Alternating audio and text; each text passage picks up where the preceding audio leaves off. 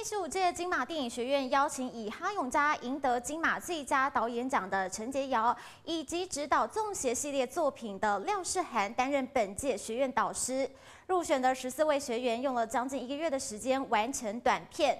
二十二号晚上，主办单位举行放映暨结业式，参与人员到场一起欣赏这段时间的努力结晶。房间内一颗白色蚕蛹，随着呼吸频率起伏，好像正在孵化。这是二零二三金马电影学院学生们的作品。画面一转，来到山林西边，十四位来自华语地区的编剧、导演以及摄影学员，不分日夜，如火如荼进行剧本讨论、看景、拍摄、后置等工作，用将近一个月时间完成短片。二十二号晚间，作品放映暨结业典礼也在台北盛大举行。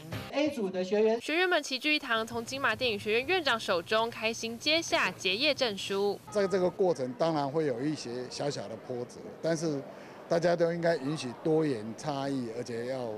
寻找那种共识啊！这一次看起来，诶，结果也是蛮好的。因为他们都胆子很大，然后完全是大片的剧本。金马电影学院迈入第十五个年头，学院院长和导师对今年学员的作品赞誉有加，没有任何疑问的，一直要往前冲，然后更好的电影就是因为这样坚持创造出来。他们两个片子让我们感觉到台湾新电影的那个力量，好像看到他们的结果。今天看到我非常高兴。主办方秉持着促进华语创作者交流为目标，为电影产业培育新秀，相信学员们未来也能继续在这条路上发光发热。借台北综合报道。